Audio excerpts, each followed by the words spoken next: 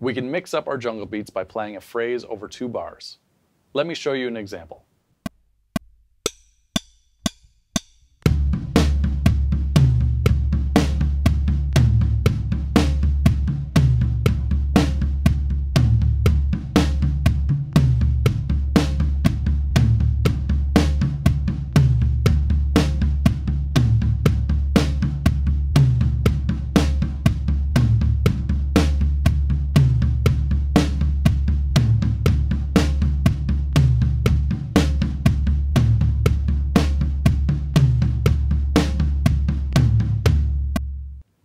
Let's break it down.